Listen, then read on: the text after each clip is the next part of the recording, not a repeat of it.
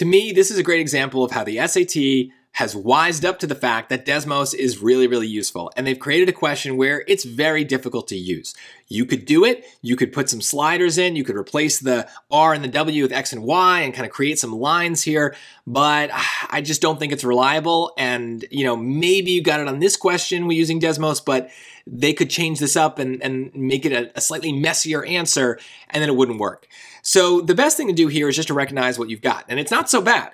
We have a system and they're talking about no solutions. And so anytime we have the number of solutions, two things can happen.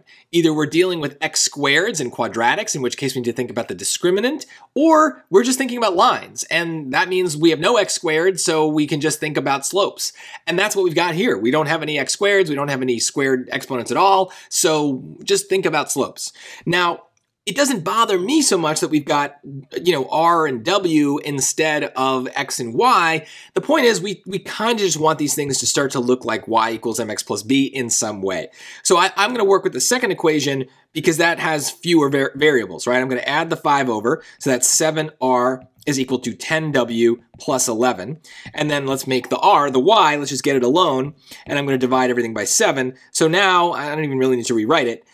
I have the number I want. I want the slope because if there are different slopes, I am going to have uh, one solution, but they are telling me there are no solutions, meaning that I have to have the same slope. So now I can manipulate this top equation.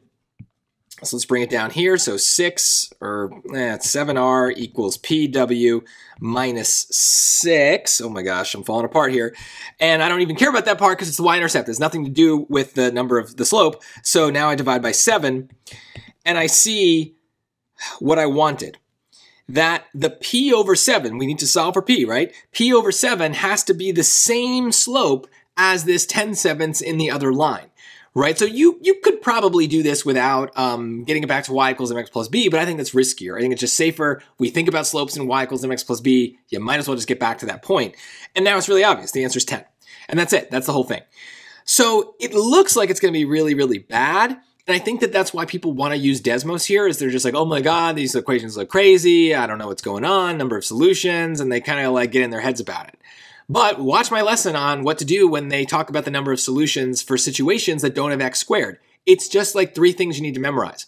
And then, especially Uh, you you have the specific rules, but you also just have the knowledge that when they say no solutions and it looks like you don't have an x squared, you just kind of have a, a plan already. Just like, okay, let's get it back to y equals mx plus b. Let's think about slopes. That's the whole game. And I think that that's safer than going to Desmos because in this case, 10 was the number. But what if the answer was 10 sevenths?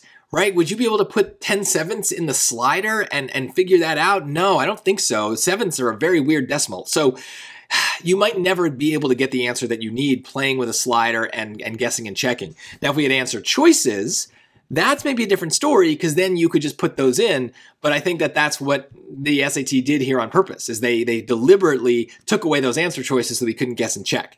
And that's okay because if we know this the strategy, we know the topic, then it really won't matter if they kind of make it a little harder on us. We can just go back to basics and do it the traditional way.